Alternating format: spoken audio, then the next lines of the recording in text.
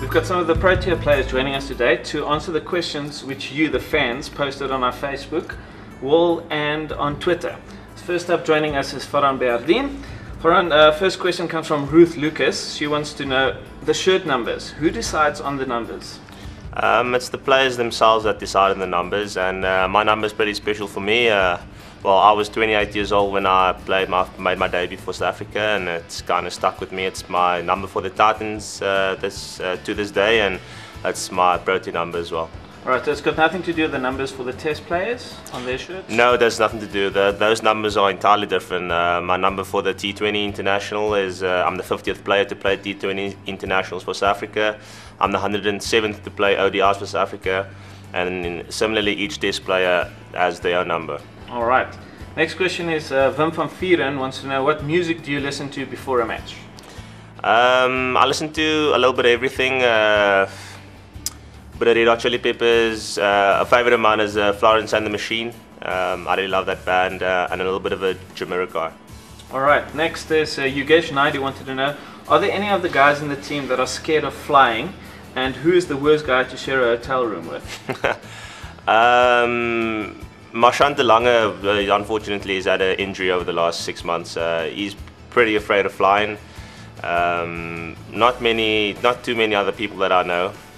Um, and fortunately, when you're with the national side, you don't share a room with anyone. So um, you don't have to. Um, I don't have to share a room with Rory uh, or Faf for that matter. Wow, they're pretty messy. Uh, Rory is pretty messy. I, I know one of my teammates, uh, maybe not for the national side, but CJ de Villiers is a pretty messy character. So you want to stay clear of CJ de Villiers. All right, then Fawn Sison wanted to know, Hashim Amla always looks so calm. Has he ever lost his cool? I think it's a it's a tough one. I don't think I've, I've personally ever seen Hashim Amla lose his cool. Uh, he's too cool a character. Yeah. Very humble, very calm. Um, you know, I, he, you know, he does a lot of prayer work and you know meditation type skills, and um, I think the only bit of uh, angriness in him is uh, when he's trying to hit the ball for four for six. Right, great.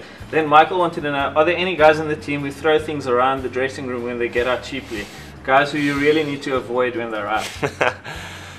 Um, no, the national side, the guys are pretty pretty calm, and you know they, you know what's happened has happened. Even if they get a bad decision, or maybe they've kind of made a poor decision getting out, maybe you know not taking the game home for their team, etc. So the the guys are pretty um, pretty good at that. I think maybe in the younger days. I mean, I was personally in my younger days. I used to I used to throw a helmet here or there or a glove here or there, but um, you know you as you grow older, you um, you know, you, you learn to take control of it. Okay. Then last one for you, um, from Yanni Simon wants to know if you weren't a cricket player, what career would you have had? Um, I would have done something similar to uh, Paddy Upton. You know, he's a mental coach for the Protea side at the moment. He, um, it's something that I'm still aspiring to do. I'm studying through the South African College of Applied Psychology. So it's something that I see uh, myself doing after the game, using my experience from international cricket together with a degree and um, hopefully be used on a consultation basis uh, around the workplace and you know hopefully travel with a team. Not just cricket um, you know any sport uh, that needs my uh, my services. Great. Thanks for joining us. Cheers. Thank you very much